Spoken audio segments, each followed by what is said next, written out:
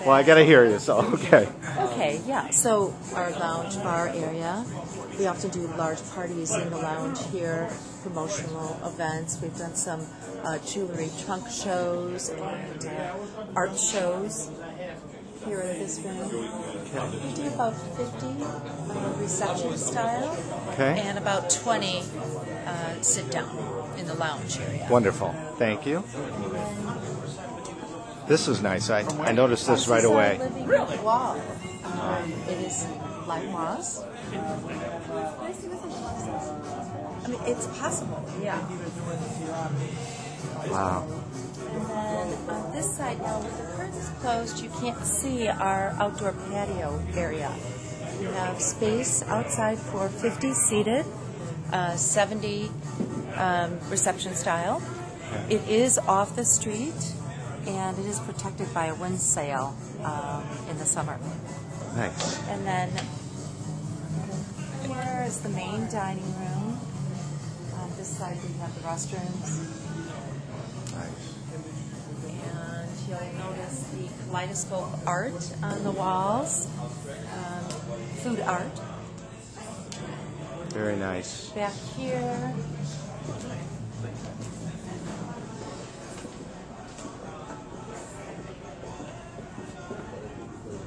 Okay. this is the private dining room space.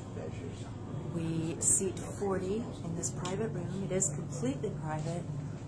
Um, you have control over the lighting, the sound, and complete privacy if you close the curtains. It's quiet too, and you got the meeting gear. We do. We are AV ready, projector Great. and screen. Um, as I said, you have control over the uh, lighting and sound. Okay. Um, and when you close the door, it's very quiet. The room does split. We have a privacy curtain, floor Oh. to ceiling. Uh, so we can do two smaller groups, or again, if you want more privacy, um, we can close this off. This has got to be one of the coziest rooms in the city. Yeah, we hear that all the time. Really? Yeah. It has a nice atmosphere because you can look into the main dining room. So typically, what happens is we do a large captain's table in this section of the room and do reception on the other side. And then, you know, these curtains are usually open. So you're looking right into the main dining room. Wow. Yeah. Looks like you got some wine selection too.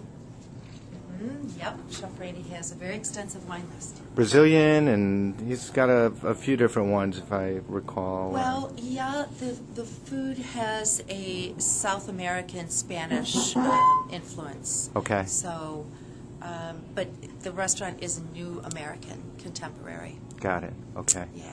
And what typically groups wise do you have here besides corporate and then receptions, probably a little fundraising? Yeah, we Okay. do a lot of uh, community work. Okay. Um, we have recently had the West Loop organization and Fulton, Fulton River organization back here. Okay. Um, over this last week, we uh, provided food for the Lyric Opera fundraiser. And then on Tuesday night, we provided food for Vital Bridges, which is uh, an AIDS fundraiser. Okay. So, yeah, we're pretty active in the community. Okay. And of course, you know that um, Province Restaurant is green. Mhm. Um, we are in a LEED certified, gold LEED certified building. Yep. Um, Randy's concept is farm to table, so he is a big fan of the Green City Market, and he uses a lot of the local Midwest farmers. Right. Um, And it's great. Your website talks all about that as well, doesn't it? uh, Yeah. Yep. Yeah. How old is the restaurant now? Just over a year. Right. Yeah. Brand new. Brand new. Right. Yeah. I'm gonna have to come here and support you guys. 'cause Please, I we hope so. The idea. The idea, yeah. And especially, I just came